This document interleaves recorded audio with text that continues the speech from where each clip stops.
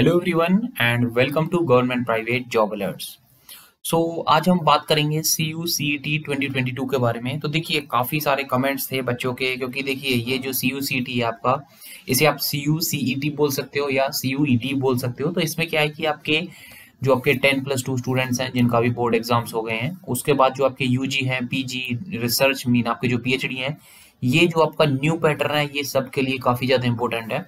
तो इसके बारे में हम सारी चीज़ों के बारे में डिस्कस करेंगे वन बाय वन जो भी आपके डाउट हैं, जो भी आपके प्रॉब्लम्स हैं इश्यूज़ हैं, वो आप कमेंट सेक्शन में हमें बता सकते हो। उससे क्या होगा कि जो भी डाउट होंगे, हम अपनी नेक्स्ट वीडियो में भी लेकर आ सकते हैं। प्लस उसके साथ साथ स्टूडेंट्स हमने एक टेलीग्राम ग्रुप स्टार्ट किया है, उसका लिंक हम आपको डिस्क्रिप्शन में प्रोवाइड कर देंगे। उससे क्या होगा कि जैसे आपके जो भी डाउट्स हैं, या जो भी हमें न्यू इन्फॉर्मेशन मिलेगी सी यू सी के बारे में क्योंकि देखिए अब हम अगर बात करें to be specific twelfth class के लिए तो जो भी बच्चे होंगे ट्वेल्थ क्लास के लिए वो क्या करेंगे? सबसे पहले उनका एग्ज़ाम हो गया डन अपना बोर्ड हो गया। उसके बाद अब कॉलेजेस के लिए परसेंटेज रिक्वायर्ड नहीं है एज सच मैं अभी C U C T on the basis आपके सेंट्रल यूनिवर्सिटीज की बात कर रहा हूँ तो उसमें क्या है कि आपका सी यू सी टी एक नया पैटर्न होगा। आ, मोटा मोटा आप ऐसे समझिए क्योंकि जो आपके कॉलेजेस हैं, कुछ कॉलेजेस हैं वो भी हम डिस्कस करेंगे कौन से कॉलेजेस हैं और जो आपके C U C T N T A conduct करवाएगी, लेकिन उन्होंने क्या किया है कि अभी आपका जो कॉलेजेस हैं टोटल कॉलेज हैं, वो अभी आपको बताए नहीं है। मीन ये ये कॉलेजेस और पार्टिसिपेट करना चाहते हैं, क्योंकि देखिए सी यू सी टी मतलब सेंट्रल यूनिवर्सिटीज के लिए तो ये है ही है।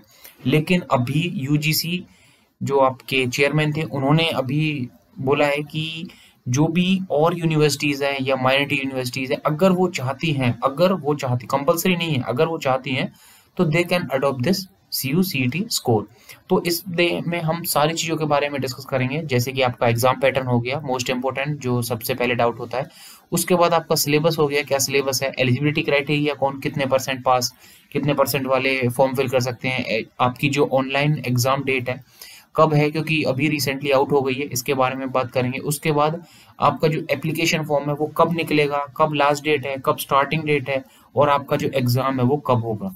तो इस वीडियो में हम सारी चीज़ों के बारे में डिस्कस करेंगे बट उससे पहले एक आपको न्यूज़पेपर कटिंग दिखा देते हैं एज सच कोई इंपॉर्टेंट नहीं है बट फिर भी आप एक बार अपने इन्फॉर्मेशन के लिए देख सकते हो।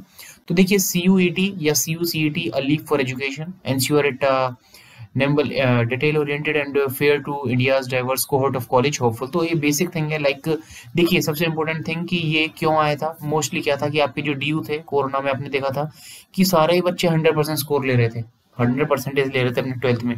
देखिए, उसमें क्या है कि कोई सीबीएसई e से है, कोई अपने स्टेट बोर्ड से है, कोई डिफरेंट डिफरेंट जो भी आपके स्टेट बोर्ड्स हैं, उनसे है तो जो उनकी मार्किंग स्कीम है, सारी चीज़ें डिफर करती हैं, जिसकी वजह से क्या होता है कि काफ़ी बार क्या होता है कि जो अच्छे स्टूडेंट्स हो जाते हैं, वो रह जाते हैं इस बेसिस पे। तो इसीलिए आपका सी e या कॉमन यूनिवर्सिटी एंट्रेंस टेस्ट लेकर आए हैं।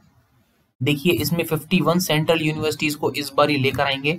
और जो भी आपके 90 प्लस स्कोरर्स हैं, चाहे कोई भी है, अब क्या होगा? सबको ही एग्ज़ाम देना पड़ेगा, आपका स्कोर आएगा, उसके बेसिस पर ही आपको जो एडमिशन मिलेंगे। तो चलिए, सबसे पहले हम अपने पहले टॉपिक पर डिस्कस करते हैं, क्या कॉलेजेस हैं? कौन कौन से कॉलेजेस सी यू के अंडर आते हैं? तो देखिए, अभी एज सच जो आपके सेंट्रल यूनिवर्सिटीज हैं, वो तो है ही अभी।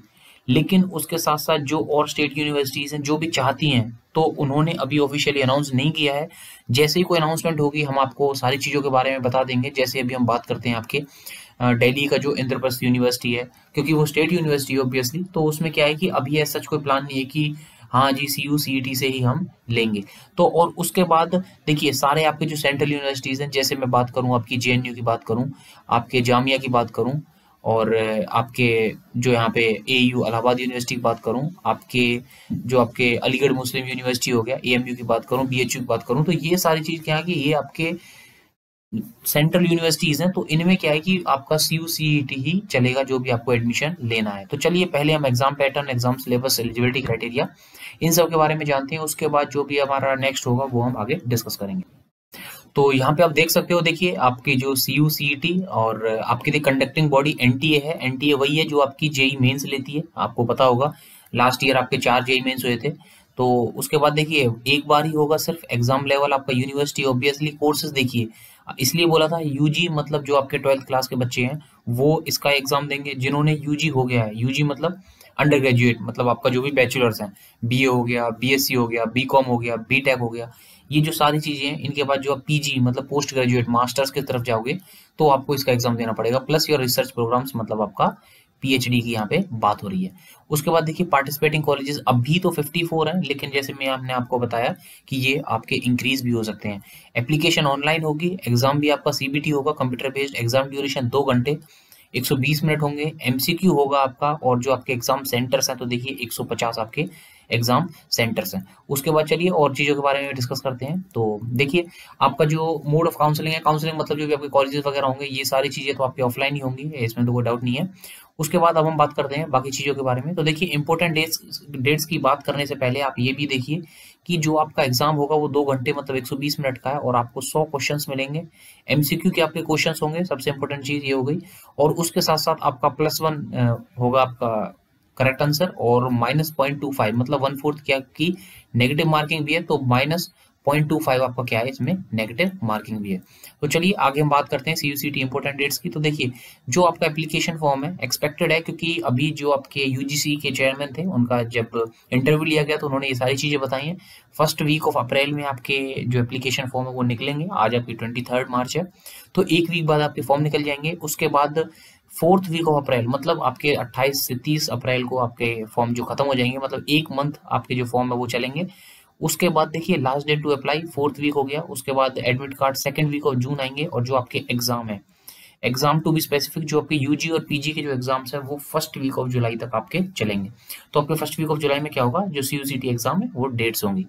उसके बाद देखिए बात करते हैं प्रोविजनल सी आंसर की तो जुलाई में आ जाएगा ऑब्वियसली जब आपका फ़र्स्ट वीक में हो गया तो जुलाई में आ जाएगा। आपके सारी चीज़ें, देखिए रिज़ल्ट मेरिट देखिए मेरिट लिस्ट तो अभी अनाउंस नहीं कर सकते, लेकिन जो आपके रिज़ल्ट वगैरह वो जुलाई में ही ऑलमोस्ट आपको कंप्लीट देखने को मिलेंगे। तो देखिए स्टूडेंट्स आपके पास बहुत कम टाइम है।